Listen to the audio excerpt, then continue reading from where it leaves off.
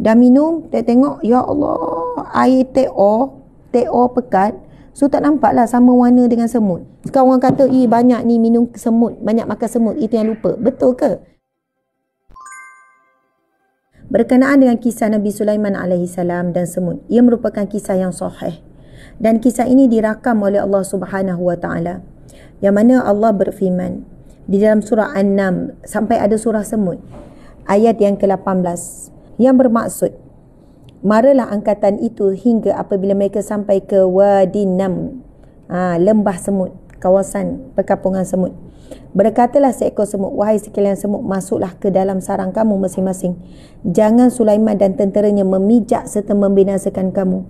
Sedang mereka tidak sedar. Mereka tak sedar yang mereka pijak. Di dalam tafsir ajalan lain, ayat ini bermaksud apabila mereka sampai ke lembah semut iaitu kota Taif atau di negeri Syam yang dimaksud adalah semut-semut kecil dan semut-semut besar. Telah berkata Raja Semut ketika melihat bala tentera Nabi Sulaiman, Hai semut-semut, masuklah ke dalam sarang-sarang kalian agar kalian tidak dipijak oleh Sulaiman dan bala tenteranya sedang mereka tak sedar. Semut dianggap sebagai makhluk yang dapat bercakap. Namun percakapan ini hanya berlaku sesama mereka sahaja. Sebelum kami menjawab persoalan ini, maka kami sertakan beberapa hadis yang menceritakan berkaitan semut di dalam hadis yang diriwayatkan oleh Abu Hurairah radhiyallahu anhu bahawa Nabi SAW bersabda.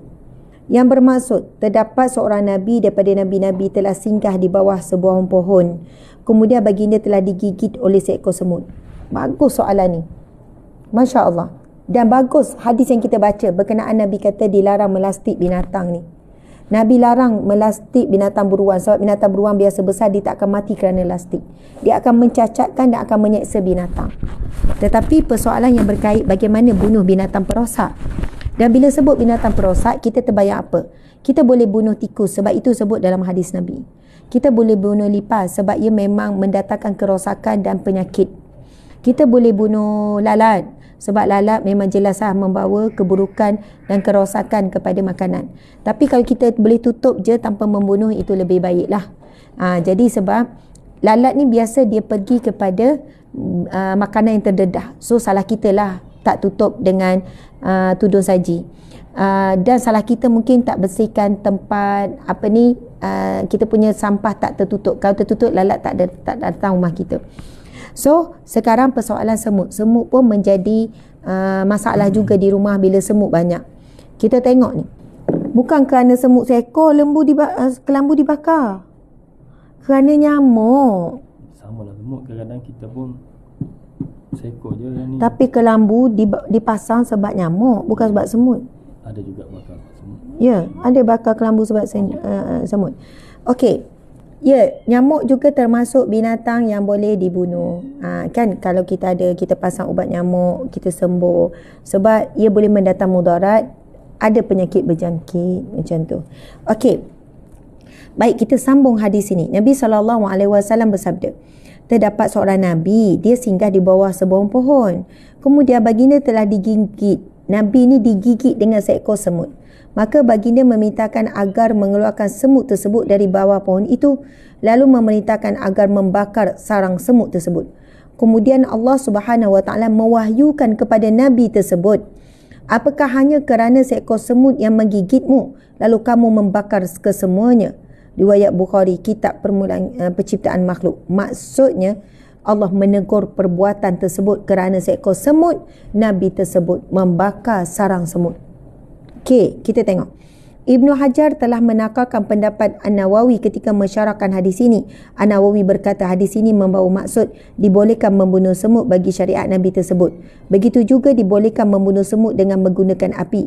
Ini kerana asal dalam membunuh dan membakar ada tidak berlaku kekerasan padanya.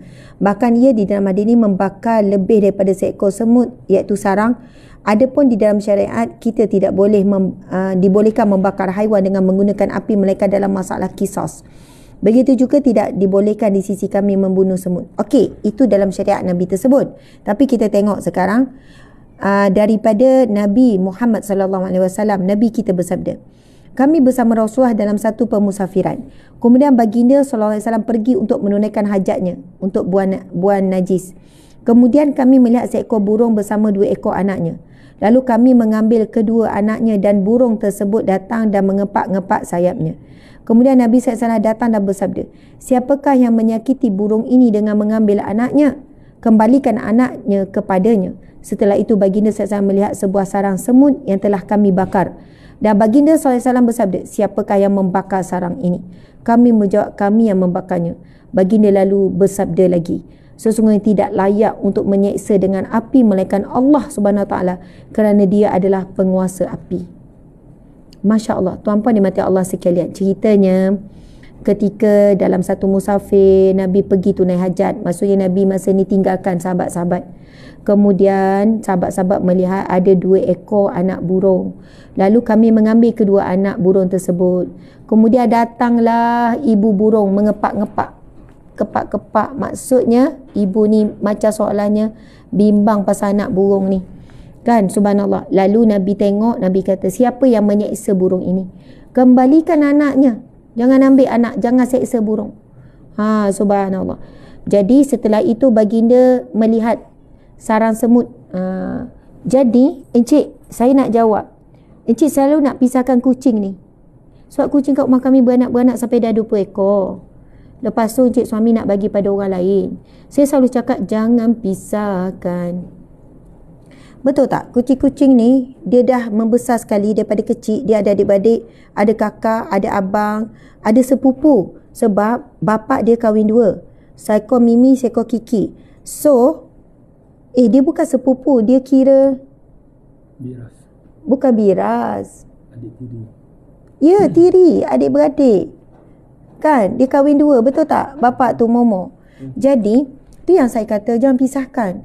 Jadi kita usaha kalau kita tak nak mereka membiak ada caranya dan itu tidak menzalimi. Ha, jadi sebab itulah kita tengok Nabi pun meraihkan burung pun jangan dipisahkan. Sebab ia akan menyeksa ibu. So mungkin Mimi, Kiki kalau anaknya kita bagi memang cantik-cantik. Kucing ni ada kucing pasi. Sebenarnya kucing ni orang bagi dan ada kucing jalanan yang kami pelihara. Jadi tengok mereka bermain bermesra tu. So saya tak boleh bayang kalau kita pisahkan mereka, ibunya akan sedih, adik-adik akan mencari-cari. Okey. Jadi siapakah yang menyakiti burung ini Nabi kata. Dan Nabi bila tengok ada sarang semut dibakar, pasu Nabi cakap, siapa yang membakar? Kemudian Nabi kata, hanya Allah saja yang layak menyeksa makhluk dengan api kerana dia penguasa api. Imam Al-Khattabi dalam mensyarahkan hadis ini uh, memberi petunjuk bahawa membakar membakar sarang serangga adalah makruh tak boleh. Adapun semut terdapat keuzuran baginya amat sedikit.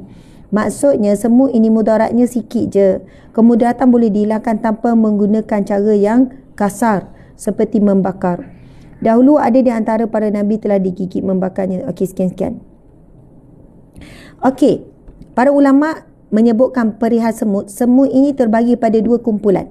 Kumpulan pertama yang membawa mudarat, maka dibolehkan membunuhnya bagi mengelakkan mudarat. Kumpulan kedua adalah semut yang tidak memberi mudarat. Semut jenis ini mempunyai kaki yang panjang dan tidak dibolehkan membunuhnya. Ada semut yang tidak boleh dibunuh. Rasulullah SAW melarang membunuh empat jenis binatang yang melata. Ini subhanallah sabda Nabi SAW. Dengarkan. Rasulullah SAW melarang membunuh empat jenis binatang yang melata. Pertama semut, yang kedua lebah, yang ketiga hud-hud burung sejenis burung dan salah satu jenis burung kita tahu lebah pun Nabi larang bunuh. Uh, tu apa sih kalau kita ada sarang lebah kat rumah, kita cuma nak bersihkan rumah kan. Kita bersihkan sarang. Tapi biarlah le- lebah uh, apa ni kita panggil labah-labah tu berjalan, dikeluar daripada rumah. Tapi bukannya kita bunuh dia sekali. Uh, makruh tapi bukan haram ya. Kalau terbunuh bukan berdosa besar. Semut juga antara binatang yang Nabi larang. Ha. Imam Syakani ketika mensyarahkan hadis ini asyur adalah jenis burung dan ia boleh dimakan ikut mazhab Malik. Okey, untuk itu Nabi SAW menghalang daripada membunuhnya bagi menghilangkan. Kita tahu semua antara binatang yang pernah menjadi tentera membantu Nabi Sulaiman. Kemudian Labah juga pernah membantu Nabi Muhammad SAW membina sarang di depan gua. Gua Nur ke Gua Sur? Di depan Gua Sur. Sehingga kan hmm. orang musyrik yang nak menyerang dan memburu Nabi dan pergi hijrah, mereka kata mustahil. Sebab apa? Sarang labah-labah yang labah-labah ni cepat-cepat lepas Nabi dengan um, uh, Sayyidina Abu Bakar masuk ke dalam gua sur untuk bersembunyi. Masa tu orang orang musyrik ni yang menjejak pembunuh upahan ni dah berdiri di depan gua tu dah berdiri depan gua kalau mereka tunduk mereka akan nampak Nabi Sayyidina Abu Bakar. Tapi mereka tak jadi tunduk sebab mereka melihat sarang labah tebal. Mustahil. Kalau um, uh, apa ni Muhammad dan Abu Bakar masuk mesti ada kesan sarang labah rosak. Tapi labah-labah ni dia cepat-cepat buat laju-laju supaya dilihat uh, tidak ada orang yang masuk. Jadi mereka tak tunduk Subhanallah, Allahu Akbar. Terdapat satu pendapat di dalam mazhab syafi'i seperti mana pendapat Malik bahawa sesiapa yang bermuhrim dalam keadaan ihram. Okey. Pendapat ulama dalam masalah membunuh semut. Jadi, telah berselisih pendapat dalam menentukan adakah dibolehkan membunuh semut atau serangga. Ada di antara mereka yang mengharamkan. Ada yang haramkan. Imam An-Nawawi di dalam Al-Majmu' mengatakan Berkata ashab syafi'i bahawa tidak boleh membunuh lebah, semut, burung dan katak. Selain itu Al-Bayhaqi dan selain daripada juga berpendapat tidak boleh membunuh haiwan tersebut. Adapun antara fatwa sebagai ulama kontemporari uh, seperti Syekh Dr. Wahbah Az-Zuhaili, Syekh Salah Ibnu Usaimin membolehkan untuk membunuh semut dengan syarat jika semut itu membawa mudarat dan ancaman. Ia boleh dibunuh dengan apa-apa cara sekalipun melainkan tidak boleh dibunuh dengan api. Okey, jadi kesimpulannya tuan-puan dan mati Allah sekalian, boleh dibunuh sekiranya datang mudarat. Tak boleh haram membunuh jika saja-saja. Elok semut berjalan, dipenyek semut. Semut tu tak ganggu pun, dia nak lalu, nak tumpang lalu je. Penyek, penyek, penyek. Cik pernah buat tak? Ha. Masa kanak-kanak. Dan pernahlah anak kami masa kecil-kecil. Ha? Masa mak-mak, saya tak pernah buat. Tak, saya tak pernah. Ya. Yeah. Kenapa cik cakap macam tu? Saya tak, saya tanya je. Saya kalau ada semut, kawasan masak kadang ada semut kan. Bagi gula. Ya, saya kumpulkan gula satu tempat. Ya, cik pernah tengok kan? Saya guna gula yang ketul tu. Gula tu, saya pun cakap, korang pergi sana, korang pergi sana. Gula kat sana. Sebab kadang tu bila ada semut, kita nak kemas dapur kita, semut ada. Kita nak lap tak sampai hati tau. Kita nampak semut banyak, kita lap. Oh tak sampai hati. Sebab semut ini binatang yang disebut dalam Al-Quran An-Namlu. Sampai Allah mengiktiraf semut ni dia ada peranan dia, dia ada kebaikannya. Dia ada manfaatnya. Tapi kalau semut gatal yang gigit tu memang kita penyek lah. Takkanlah kita nak Okey semut Sakit. Kita pun angkat dia kan Angkat pelan. Oh memang kalau semut gatal kita terus macam ni memang dia mati Maksudnya yang tu dibenarkan. Takkan nak bagi gula lagi masa tu Ini gula-gula Ini gula-gula Coki-coki. Ah, Tak ada lah itu lain. Tapi kalau dia tidak mengganggu, kadang kita nak lap pun, kita macam nak lap meja tapi semut dah hurung. Kita ketuk-ketuk meja, ketuk-ketuk supaya semut tu beransur. Contohlah ada air tumpah atas meja. Sekejap je semut dah hurung. Semut ni lapar ni, kita tahu dia lapar. Jadi pun kita ketuk-ketuk, kita pun lap. Kadang-kadang kat dapur saya kumpulkan satu sudu gula satu tempat supaya dia orang berkumpul kat situ, dia pun angkut. Dia orang pandai angkut. Tapi kalau ada anak cucu kita yang sengaja penyek, penyek, penyek. Jadi hobi. Semut penyek, penyek. Itu dilarang. Sebab ia tak mengganggu kita. Masya Allah. Sebenarnya binatang-binatang ni dia bagi signal. Kalau ada semut maksudnya ada tempat yang tak bersih. Lap tak habis. Kalau ada lalat bermaksud ada sampah yang tak diurus dengan elok. Ada makanan yang tidak ditutup. Kalau ada tikus, ada lipas juga menunjukkan penyelenggaraan. Dan sekarang lagi lah dah ada pest control.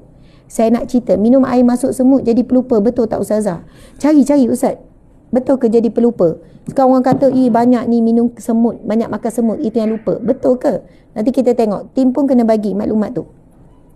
Saya nak cerita satu kisah benar sahabat saya. Ada sarang semut sebelah rumah dia. Dia cerita betul-betul pada saya. Ini kisah benar, tidak ada tokok tambah ada sarang semut dekat pokok sebelah dapur rumah dia. Dia geram satu hari sebab semut banyak, dia pergi bakar. Dia pergi bakar semut tersebut, dia pergi bakar semut, sarang semut dia bakar. Setelah beberapa hari, dia nak hidupkan kereta dia yang mahal. Kereta apa sekalian? Kereta mes. Kereta mes yang mahal. Tak boleh dihidupkan. Tak boleh hidup. Tak boleh hidup. Tak boleh hidup. Lepas tu, dia pun bawa pergi bengkel, kena towing. Tak boleh nak hidup, tak boleh. Tak tahu apa punca, tak tahu apa punca. Lepas tu kena towing bawa pergi kedai. Kedai pembuka, tahu tak apa? Dalam dashboard tu penuh dengan semut, encik. Penuh dengan semut. Yang akhirnya, dia kerugian beribu-ribu sebab nak selesaikan isu semut yang merosakkan. Kalau fikir tak logik kan? Kalau fikir memang tak logik. Dia kata dalam tu jadi rosak dan dia perlu sembuh dengan air yang menyebabkan memang sistem elektronik tu berlaku kerosakan. Itu je cara. Maksudnya tak tahu macam mana kena sembuh, kena itu, kena ini. Dia rugi, dia kena buat itu beribu-ribu. Dan masa itulah dia cerita, dia kata, dia teringat larangan Nabi, jangan bakar semut. Dan dia buat perkara tu, dia bakar sarang semut yang ada pokok di sebelah dapur rumah dia. Dan setelah berapa hari ke berapa minggu tak tahu. Allah kebal Allah terus menegur dia. Rosak bahagian dashboard apa semua ni rosak. Walaupun kereta mahal. Kereta mes. Hmm. Ya gitu. Jadi itu antara kisah benar yang pernah ni. Banyak makan semut sebab itu terkena penyakit lupa betul atau tidak penyatadah tidak dapat kami tentukan nama begitu antara oh ini menjawab doktor ini jawapan pada doktor ni Doktor kata tak ada bukti saintifik makan semut pelupa. Kesian semut dipersalahkan. Lalu doktor ni beri jawab, beri jawapan, penyakit lupa dan kalangan masyarakat punca-punca ke penyakit lupa pertama kurang tidur, tak cukup tidur. Boleh jadi uh, otak kita makin kurang prestasi. Uh, ingatan cepat lupa sebab kurang tidur. So pastikan cukup tidur kita encik. Pengambilan ubatan-ubatan pengambilan ubatan-ubatan boleh kesan juga kepada fungsi otak yang semakin kurang. Okey, min, uh, sebab otak ni dia boleh pergi kepada dia bagi signal kepada kurang sakit. Minum alkohol terlampau banyak, kemurungan, uh, kurang bersenam sebab aktiviti fizikal sangat bagus untuk kekuatan otak. Jadi cara mengatasi penyakit lupa selikat aktiviti fizikal. Kemudian kekal minda aktif, tidur yang berkualiti, cukup tidur, makanan yang sihat. So uh, jawapan pasal semut saintifik pun tak ada, hadis Nabi pun ada hadis Nabi ke berkaitan dengan lupa? Jangan makan semut nanti pelupa mengajuk lain. Kita tengok jap. Membunuh semut. Betul ke minum semut cepat lupa? Okey. So ada tak larangan yang menyebut sekarang ni kita tak sengaja mana ada orang sengaja tak sengaja insya-Allah tak ada mudarat. Dah minum dia tengok ya Allah air TO TO pekat so tak nampaklah sama warna dengan semut. So tak perasan minum semut. Okey, hukum minum semut dalam balang. Eh, baguslah soalan ni. Hari tu adik saya tanya. Semut masuk dalam Milo. Dia kata macam mana ni warna semut dengan warna Milo sama. Dan dia kata sayangnya kalau nak buang. Adik saya ni pula memang jenis yang berjimat cermat. Dia kata macam mana? Bagi orang kaya mungkin buang macam tu. Ya nampak dah semut banyak hurung dalam teh Milo tu. Tapi Milo dalam mahal dia kata macam mana macam mana nak buat. Kalau gula ada semut kita boleh nampak semut tu buang-buang. Tapi Milo macam mana encik? Jadi mari kita tengok. Apakah hukum makan semut dalam balang? Ini Jabatan Mufti Wilayah Persekutuan ada sebutkan. Okey, hukum memakan semut ialah haram. Haram makan semut. Kerana ia termasuk dari jenis haiwan yang menjijikkan apabila nak makan dan terdapat hadis larangan membunuhnya. Okey. Allah berfirman dan baginda Rasulullah SAW menghalalkan bagi mereka segala benda yang baik dan mengharamkan kepada mereka benda yang buruk. So sengaja-sengaja makan semut, bakar semut, goreng semut tak boleh lah. Okey. Baik. Justru berdasarkan ayat ini, semua adalah haram dimakan kerana sifatnya sebagai bangkai. Matinya tidak disembelih, jijik pada jiwa dan dilarang oleh Rasulullah.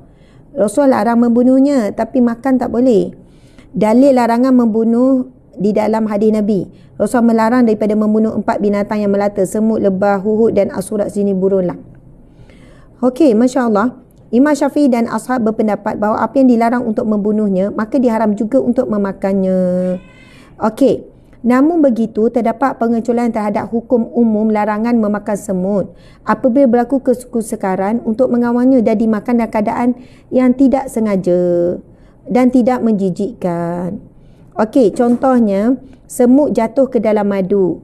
Berkata Al-Ihya, uh, pengarah ataupun ni, melainkan jika yang terjatuh itu hanya seekor semut atau lalat kemudian pecah tubuhnya, maka diharuskan. Sama juga hukumnya kepada lebah.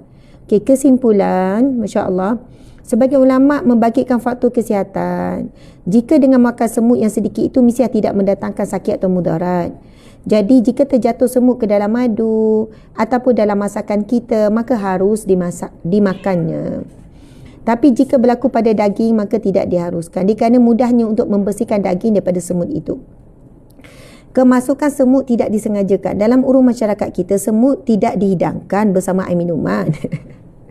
Memanglah tak dihidangkan. Sebaliknya hanyalah termasuk dengan sengaja, tidak sengaja apabila kita memasukkan gula.